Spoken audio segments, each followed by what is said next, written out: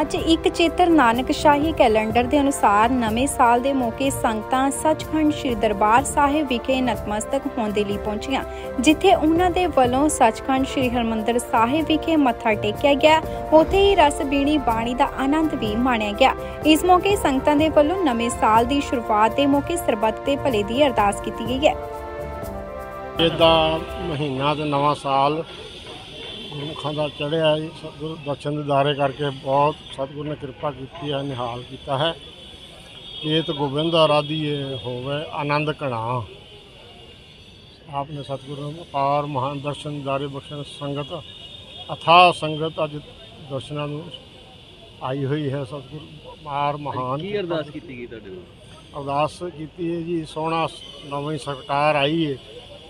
ਪੰਜਾਬ ਦੇ ਭਲੇ ਵਾਸਤੇ ਕੰਮ ਕਰਨਗੇ, ਪੁਰਾਣੇ ਲੀਡਰਾਂ ਨੂੰ ਸਤਿਗੁਰ ਨੇ ਕਿਰਪਾ ਕੀਤੀ ਹੈ ਹਟਾ ਕੇ ਤੇ ਨਵੀਂ ਸਰਕਾਰ ਲਿਆਂਦੀ ਹੈ। ਸਾਰੇ ਕਿਰਪਾ ਕਰਨਗੇ ਤੇ ਸਭ ਦੇ ਖੁਸ਼ਹਾਲ ਪੰਜਾਬ ਵਾਸਤੇ ਅਰਦਾਸ ਬੇਨਤੀ ਜੋ ਜਿਹੜੀ ਕੀਤੀ। ਠੀਕ ਹੈ ਜੀ? ਠੀਕ ਹੈ। ਵਾਹਿਗੁਰੂ ਜੀ ਕਾ ਖਾਲਸਾ, ਵਾਹਿਗੁਰੂ ਜੀ ਕੀ ਫਤਿਹ। ਅੱਜ ਗੁਰਸਿੱਖੀ ਦਾਨ ਸਤਿਗੁਰੂ ਸੱਚੇ ਪਾਤਸ਼ਾਹ ਗੁਰੂ ਰਾਮਦਾਸ ਦੀ ਕਿਰਪਾ ਦੇ ਨਾਲ ਅੱਜ ਨਵਾਂ ਸਾਲ ਜੋ ਸਿੱਖ ਧਰਮ ਦਾ ਆਰੰਭ ਹੋਇਆ ਹੈ। ਇਹਦੇ ਵਿੱਚ ਸਭ ਸੰਸਾਰ ਨੂੰ, ਸਾਰੇ ਮਨੁੱਖਤਾ ਨੂੰ ਲੱਖ ਲੱਖ ਵਧਾਈਆਂ। ਅੱਜ ਸ੍ਰੀ ਦਰਬਾਰ ਸਾਹਿਬ ਜੋ ਸੰਗਤਾਂ ਆਈਆਂ ਨੇ, ਸ਼ੁਭ ਅਸੀਸਾਂ ਲੈ ਕੇ ਆਈਆਂ ਨੇ। ਸ੍ਰੀ ਗੁਰੂ ਰਾਮਦਾਸ ਸਾਹਿਬ ਜੀ ਮਹਾਰਾਜ ਸੱਚੇ ਪਾਤਸ਼ਾਹ ਜੀ, ਉਹਨਾਂ ਦੀਆਂ ਝੋਲੀਆਂ ਭਰਨ ਔਰ ਅਰਦਾਸਾਂ ਆਪਣੇ ਚਰਨਾਂ 'ਚ ਮਨਜ਼ੂਰ ਕਰਨ ਔਰ ਜਿਹੜੀ ਜਿਹੜੀ ਅਮੰਗ ਲੈ ਕੇ ਆਈਆਂ ਨੇ, ਸਤਿਗੁਰ ਸੱਚੇ ਪਾਤਸ਼ਾਹ ਦੀਆਂ ਮੰਗਾਂ ਪੂਰੀਆਂ ਕਰਨ।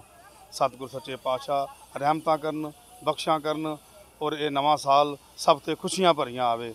ਔਰ ਜੋ ਸੰਸਾਰ ਤੇ ਕਸ਼ਟ ਚੱਲ ਰਹੇ ਹਨ, ਸ੍ਰੀ ਗੁਰੂ ਰਾਮਦਾਸ ਸਾਹਿਬ ਜੀ, ਇਹ ਕਸ਼ਟ ਦੂਰ ਕਰਨ ਔਰ ਮਿਹਰ ਭਰਿਆ ਹੱਥ ਰੱਖਣ ਸਰਬੱਤ ਸੰਗਤਾਂ ਦੇ ਵਾਹਿਗੁਰੂ ਜੀ ਕਾ ਖਾਲਸਾ, ਵਾਹਿਗੁਰੂ ਜੀ